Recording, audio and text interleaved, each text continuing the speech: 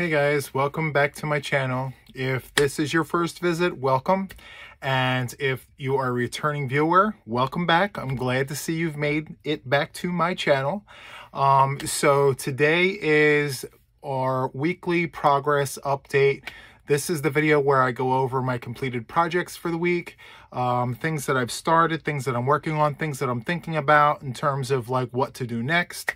Um, lot to cover, so I'm just going to jump right into it.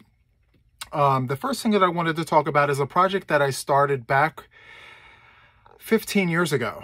Um, so I've been, like I mentioned in other videos, I've been doing crochet since the 90s and um, I was cleaning out one of my storage rooms and I came across a project that I worked on about 15 years ago and I was in a very different place in terms of crochet. Um, there's a lot of things that I know now that I didn't know back then. Um, and so I came across this project and I'm not exactly sure what to do with it. I don't know if I should take it apart and fix it, if I should just leave it and use it as like a memento. Um, leave me a comment and let me know what you think I should do. This is the blanket here, or this is the project. Let me back up so you can see the full effect of the situation. So this is a project that I worked on um, 15 years ago. This is all Bernat Super Value uh, in the colorway white, taupe, heather gray, and black. Um, yeah, this is all single crochet. Um, I love it. I'm not going to lie to you. I love it. But here's my dilemma. It's the back. The back is my dilemma. So I didn't know how to join blocks back then. So I did what I thought was the right thing, which was I sandwiched them together and I stitched along the side. I didn't know that connecting the squares across the top was even a thing. Um, I should have, but 15 years ago, technology isn't, or it wasn't what it is today. So, um, let me get closer and show you just what the heck I'm talking about here. So I literally sandwiched it like this and I stitched it on the side, just like this. And I swore up and down that this was the way that it was supposed to go. I just knew I was doing everything right. Um, so yeah, that's the dilemma that I'm facing because now I have projects in the other room, which I am going to feature on future videos, where I've joined and you can't see the join. They're called uh, invisible joins. I know how to do that now. See, 15 years ago, a much younger one, um, much greener one, didn't know how to do that. Back then, 15 years ago, the yarn that I had in, in my house was probably just this. I didn't have like I'm nothing compared to how I was before. So anyway, what do you guys think I should do? Should I take it apart and fix it? Should I leave it alone and add to it? Um, and just continue on? Do I just put a border on it and call it a day and, you know, clean up my ends? What do you guys think? See, here's the full visual of the back. So, I mean, I don't know. Every time I look at it, I'm like, I want to throw it on a chair. I want to do something with it because I love the concept that I had 15 years ago. The thought in my head, um, I mean, the design was there. It was exactly what I had in my head, but I just didn't think about the execution the right way.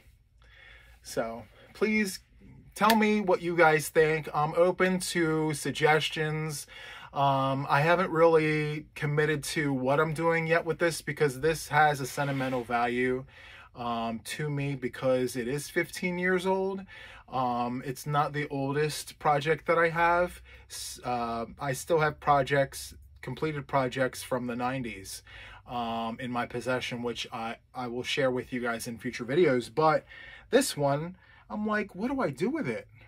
I I don't know. So again, just leave me um, a comment and tell me what you think. Okay. So the next one that I want to share with you guys, um, it's a wearable. So I've learned how to make sweaters and all the things. So I am going to show you um, a hooded sweater and a scarf combination. So for those of you who don't know, um, I had some health issues uh, over the last couple of years and um, I'm a type 2 diabetic and I have heart issues. Um, long story short, I wound up gaining so much weight. I was at my heaviest, I was 437 pounds. Um, and I think that was during the pandemic. I just had major heart issues, breathing issues, diabetes, hypertension. I just was in a very bad place health wise. And so, again, crochet was an escape for me. Without being long winded, the point that I'm making is the sweater that I made um, was too small for me when I first made it. So that's the point that I'm trying to make here. Nonetheless, I'm still going to finish it because I'm sure there's some special person out there that can fit this. And that person no longer is me. But I know plenty of people who would want this. And so without further ado, um, this is this is my project. But, but before I open it all up, this here is a stitch marker for me. I have plans on putting buttons. This is a work in progress. I bought buttons. Don't ask me why I bought buttons with all these shades, because now I have, like, I found the button, but now the buttons have different shades. Do we go with an ebony? Do we go with a hazelnut? I mean, there's all the shades. So light, medium, dark. Drop it in the comments. Tell me what you think. Um, again, I'm not committed because it's no longer for me. This is going to be somebody's gift. Um, somebody that can fit into this. Um, I am not taking it apart. I'm not tossing it in the trash. I want this to go to someone who would really cherish and appreciate this because um, this project here took 16 balls to complete. I took two strands at once and made this. So it's super heavy and it's super big and it's meant to keep a big person warm. And as a former big person, the one thing that I got extremely upset about was how things fit when I was bigger. And I said to myself, well, I can't find something that fits me the way that I want it to fit. Well, I'm going to make something. And I was still learning, but long story short, I did it. Okay, so I am going to put this on. Okay.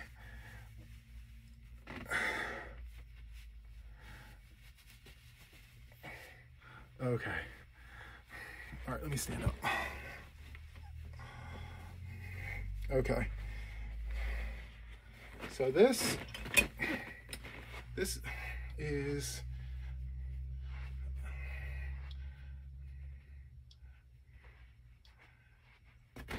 move chair.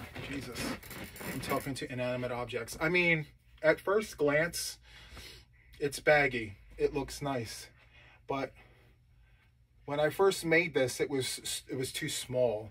I couldn't close it, and now it's it's still not it's not the right size for me because if I go to put the buttons on it, there's just so much here that you know it's too big. It's not. It looks nice though. Anyway, I used front post stitches here to make my cuffs and the ribbing. And again, this is a stitch marker. I plan on putting buttons all up the side once I figure out what shade. There's the hood. No pockets. And I'm going to tell you, I, I, listen, I was debating because pockets, it pulls down. I don't know. So I chose not to do um, pockets. But this is the man scarf that comes with it. I call it a man scarf because, I mean, it's nine and a half feet long. I'm six and a half feet tall. This goes beyond the ceiling. Like I can go up to the ceiling, look, and it's hanging over and it's still touching the floor. So anyway, um, an oversized scarf. I'm more of a triangle scarf person. Okay, that's not gonna work. Let's do this situation here. this really needs buttons. And I think if my next one, when I do make my next one, it needs to come up to here and it needs to be, I want to say about, I don't know, it needs to be about eight inches shorter on each side. See? And I still have room. So it, anyway, this is a work in progress. This sweater is, this isn't. But whoever gets this sweater will also get this because I made it with the same uh, yarn. And I put the black on just as like an accent. So anyway, I am very proud of this and I hope it goes to someone special that would appreciate this once I get buttons put on it. Um, okay, so that was a work in progress. Where can I put this? I'll put this here. Don't mind this. These are future videos. Um, organizing my thoughts, so to speak. So that's what that is. Um, all my future yarn haul videos are there. Okay, so what's next one? Okay, so project update. I uh, am like I got this project idea from Bag-O-Day Crochet Crystal. She that's the name of her channel, Bag-O-Day Crochet. She did, um, if you look up the video on YouTube, it's called Opera Throw. Just type Opera Throw crochet blanket and you'll see this, but in red. Um, I got the inspiration from her video. Um, it's not exact. Obviously, I chose the navy blue because this colorway speaks better to me than the red that she chose. Um, but the stitch that she used was a bobble stitch, single crochet, bobble stitch, back and, you know, yes, no, yes, no, yes, no, on the first row. And then the next row, all single crochets. And that was basically her blanket. But I chose the bean stitch because when you go in and out, in and out of your stitch, because of how I crochet, that third time going into the stitch to pull it out to make the bobble stitch, it was too loose. It just didn't look right. So with the with the bean stitch, you're wrapping around initially um, and going in twice instead of three times. And so this is single crochet and the the bean stitch. So it has like a little bump. It's that's the texture. It's not as raised as the bobble stitch, um, but yeah. And then the back, the back is flat. So you have a good side, or they're both good sides, but you have a front and a back. This is the back, and this is the front. And so all with the, with the exception of the bean stitch, this whole thing is single crochet and I am making it for my king size bed. And um, she took for hers, it was just a throw and it took seven and a half, I think. I have 14.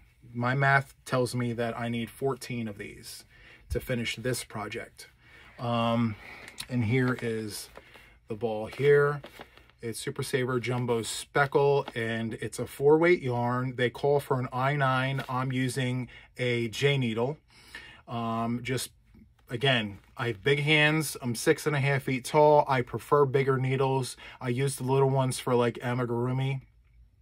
I'm sure I butchered that word, but I, you know, I'm trying um, new projects with smaller needles just so that I can get better. I'm pushing out my comfort zone. So anyway, um, this one ball is 482 yards. I have 14 of these before I'm finished. And I'm also going to be bordering it with like a bright white. So yeah, this is an update. Now, the last time I featured this on my videos on YouTube, I think I was only like five rows in. So I had just about that much completed in between my fingers there. So I've gone a ways here. Now, mind you, I do this in between a million other things. Um, just because I am a content creator and I have to have things to show. So I can't just be showing this. Oh, this week I spent all week and this is how far I got. That's boring. So I create things to show you things. And so there's that. Okay. So I have what's called a cringe project. I think it's cringe. Okay, so my mom wanted me to go to Joann's and pick her up some mistletoe yarn. So for those of you who are not aware of what mistletoe yarn is, it is, do I have any in the house here? No, it's in the other yarn room, the next room over, I'm not getting up. Um, it's green, white, and red variegated yarn, and it is used for projects for Christmas. Um, anyway, she finished her project. She had three skeins left, and she's like, Juan, please do something with this. Um, make something. So I did. And here is the finished project. So I made a hat. And it's a, a beanie hat. I have a big head, so I made a big beanie. I'm going to put it on in a minute. So um, this much here of the hat is double crochet and then half double and then single. And I did that because the part that goes around your ear, um, it's if you do it like this, it holds your ears in and it your ears yeah, I have a complex about these ears of mine because as a kid, I had a small head and huge ears. And now that I'm older, I have a big head and just these ears that, you know, they stick out. So when I put on the beanie here, it holds it in. See that? The single crochet holds in my ears and it holds the hat in place. And so, yeah, that is my mistletoe beanie. And with that, I have a triangle scarf. Um, it's not an outside scarf. It's just an accent thing. You know, when you're celebrating the holidays. A friend of mine was like, why are you putting that bib on? I can see it's giving bib realness, but um, no, it's only worn this. I'm only going to wear this during the Christmas holidays. Um, so yeah, this is the mistletoe beanie and scarf. And yeah, so just to get through this, I did a double crochet, chain one double crochet. Um, I do have a written pattern for this for those who are interested. Um, this took two skeins to complete. Um, so yeah, there's this one. And the next thing I have to show you is my puzzle uh, beanie. So I did a puzzle beanie um, and a puzzle triangle scarf. So one thing that you will learn about me, when I get inspired, I try to do all the things within that particular situation. So um, here's a skein of puzzle yarn. So this is a skein of puzzle yarn. I featured this on one of my other videos, but I have all of the colorways of puzzles. See, once I enjoy something, I need all of it. So um, puzzle, the puzzle line comes with, I believe, 13 different colorways. I have all of them.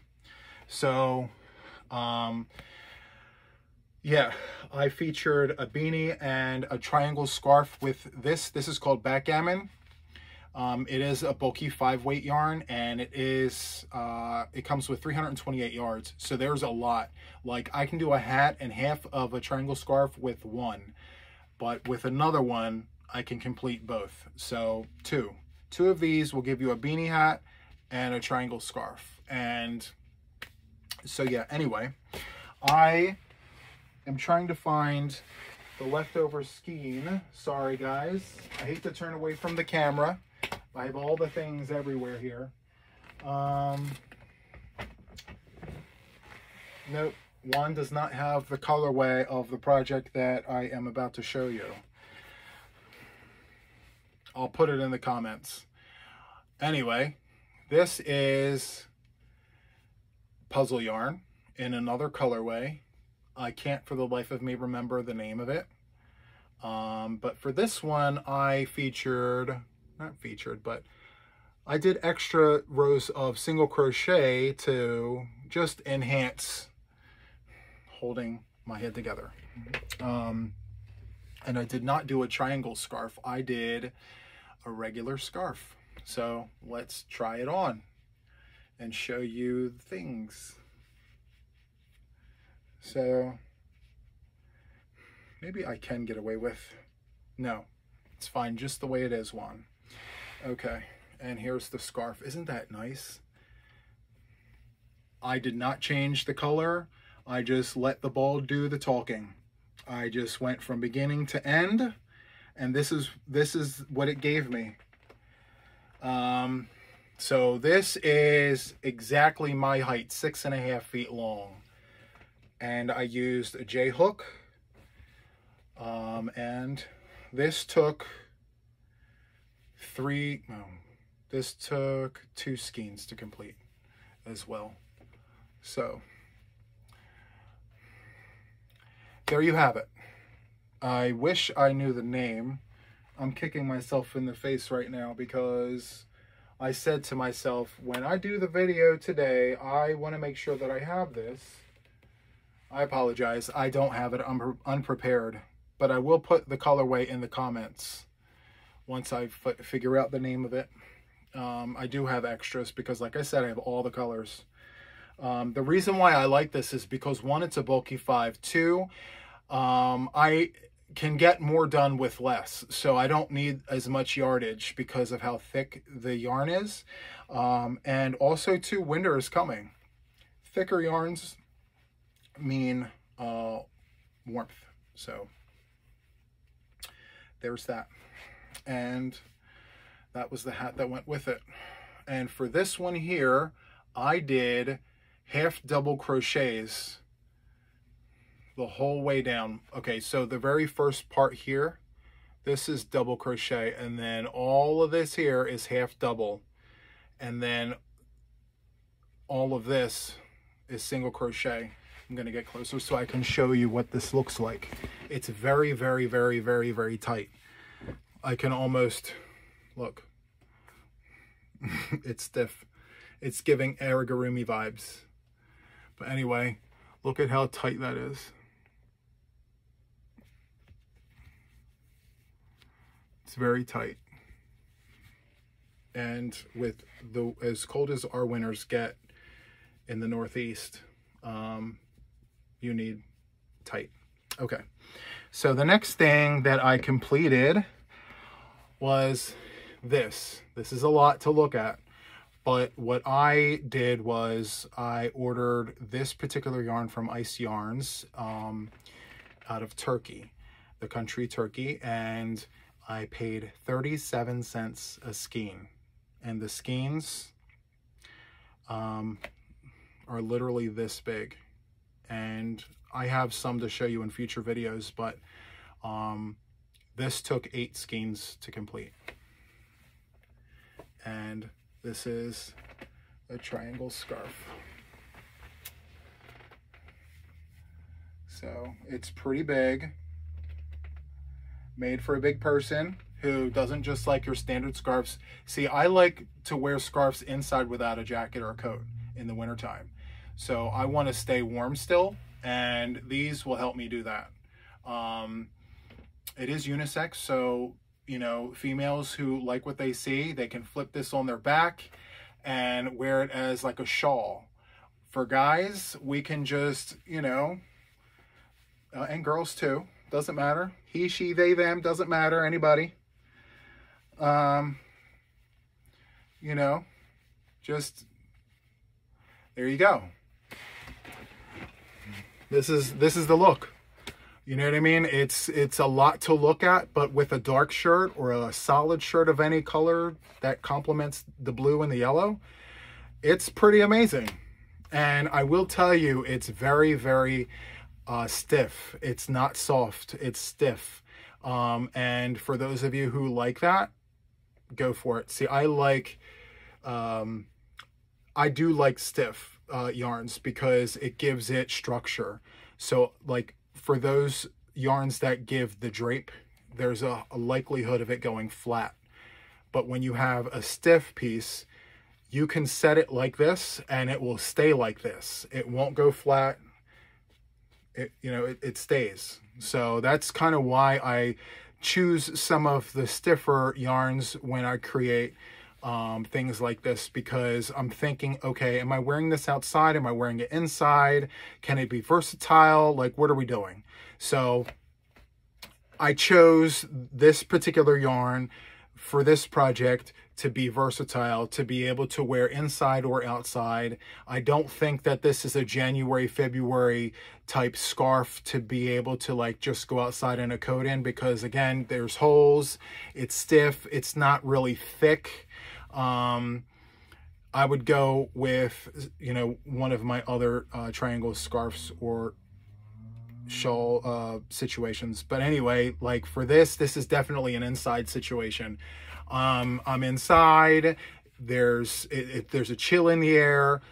I got this on, and that's my gig. So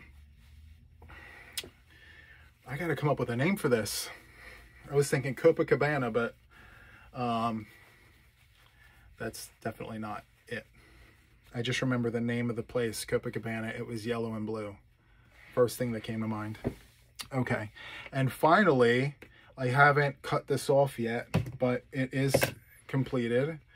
Um, just a solid beanie hat. Now these I'm actually making in large quantities.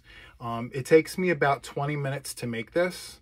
Um, and I'm making a lot of these in different sizes. And what I'm doing is, and I've done this a couple years running so far, is I make a whole bunch of these and I give them out during the winter months. Um, in downtown uh, Wilmington, downtown Philly. Um, I give them out because it's cold and there's lots of people that need something warm. And, you know, I buy these yarns cheap. Like I look for the sale, I buy in mass and I make these. So, um, yeah, just giving you a heads up with that. And so I'm going to be giving these out. Um, so yeah, here's this. Yep. So there's that. And so I'm just going to cut it off and move on. Um, and just keep making these. If there's any places that you know of that could benefit from having hats and scarves and blankets and things, drop a comment, send me an email, um, and I'll see what I can do. My email is hookcreations123 at gmail.com. I love to help as much as I can, especially, you know, during the winter months, things and things that we can do to help people stay warm. Um, so that's all I have. Um, thank you for sticking by. If you enjoyed this video, hit the like button, hit subscribe if you uh, want updates on future videos and tutorials. Um, I look forward to uh, having you guys back again. And so until the next time, have a good one.